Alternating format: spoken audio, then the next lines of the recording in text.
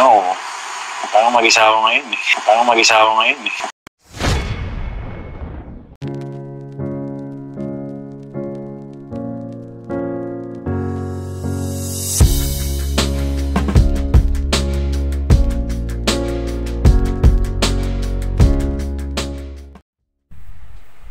Halos magtatatlong taon na rin na hindi aktibo ang magaling na aktor na si John Lloyd Cruz. Kaya naman, kamakailan ay nag-viral sa Instagram at Facebook ang video ng IG live nila ni Miss Bea Alonzo.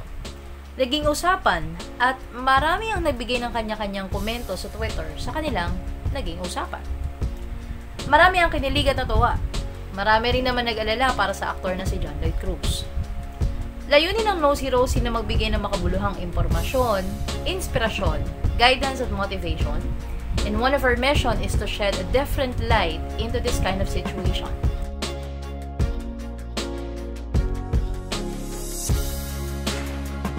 And we believe that most of us are already familiar to these statements. Ikaw, mag-isa ka dyan. Kasama ko si Gemma. Hindi naman ako mag-isa, pero kanina pa ako mag-isa nagre-request sa mga gusto kong makausap. Ayun lang ako kausap. Ikaw? Oo. Parang mag-isa ako ngayon eh. Hihimayin namin ang mga posibleng ibig sabihin ng mga pahayag na ito ni John Lloyd Cruz. Paalala, our opinion is solely based sa aming sariling experiences with clients and participants na na-handle namin during workshops. Layunin po namin na makapagbigay ng liwanag sa mga nanonood ng aming video dahil naniniwala kaming maaring makatulong, maliwanagan, at maraming maaring makarelate sa aming mga ibabahagi sa lahat ng makakapanood. Hindi, hindi, hindi, hindi, hindi ako mag-isa. Pero parang, parang, parang mag-isa. Sigurado, hindi mo lang ito isang beses narinig at hindi lang si John Lloyd Cruz ang nakapagsabi nito. Marahil narinig na natin ito sa ating kaibigan, pamilya, o ikaw mismo, nasabi na at naramdaman ito. Ewan, al- alam ko nakakausap kita. Minsan nakakausap ko rin sina Jobert, mga kaibigan ko. Pero iba pa rin eh. Parang may pag-iisa pa rin eh. Alam mo yun. Parang ito yata yung pinakamalungkot na uri ng pag-iisa. Yung tipong nap- napapalibutan ka naman ng ibang tao. Pero hindi mo lang alam, hindi mo lang masabi kung saan gagaling yung pakiramdam na nagsasabing mag-isa ka pa rin. Why people feel lonely? Kahit na marami kang kaibigan pero feeling mo nag-iisa ka. Kahit literal or physically may kasama ka. Is this depression? Maari, sabi na nakararami. Ngunit para sa amin, this person is searching for something na hindi niya matumbo kung ano at hindi niya alam kung saan ang gagaling. Ang kahulugan ng salitang searching ay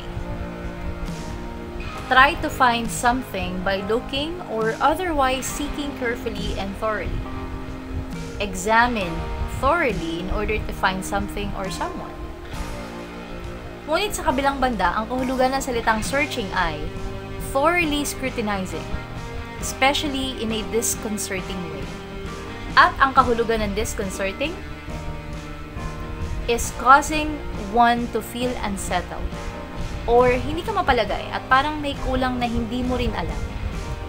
That is why you keep on asking and you keep on looking. Yung alam mong dapat masaya ka. Kasi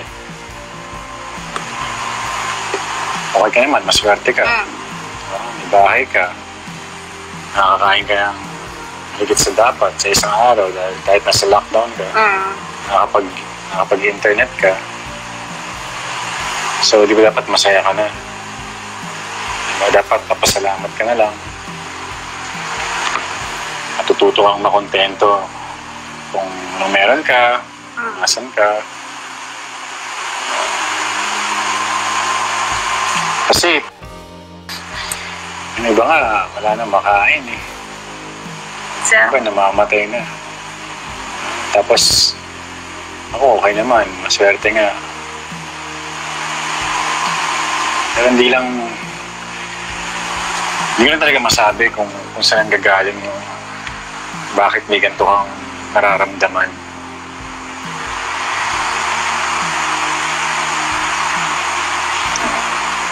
Sama eh, no? Parang, parang sarili ko lang iniisip. This is what we believe what John Lloyd Cruz is talking about.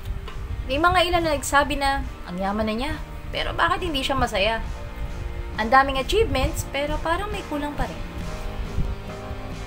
These questions were also asked and said by the late Whitney Houston sa isang documentary about her life. People think it's so easy, and it's not.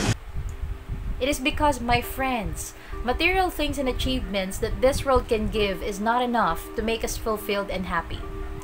It is not the true measurement of success in this world, and peace can't be satisfied by the amount of money you have in your bank account, nor the luxury of life and how magnificent your house would be.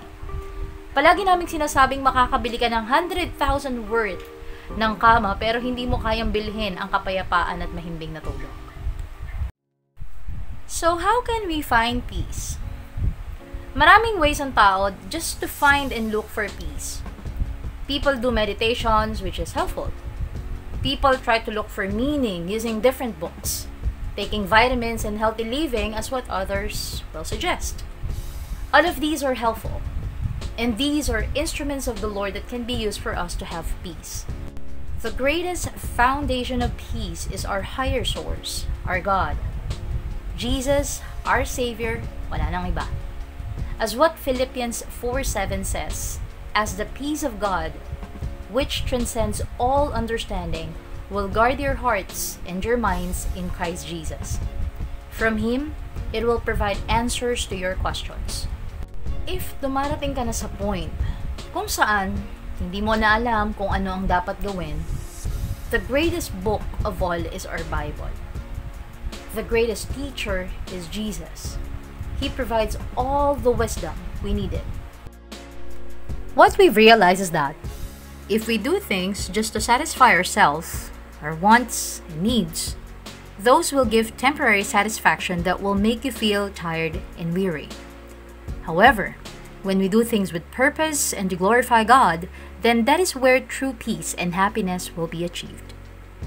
When we live and give everything to the Lord, hindi lang one more chance at hindi second chance ang ibibigay niya sa atin, kundi napakaraming chance para magtiwala sa Kanya.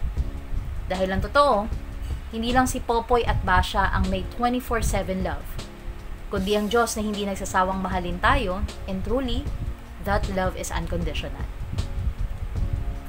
As what 1 Peter chapter 5 verse 11 says, Cast all your anxiety on Him because He cares for you.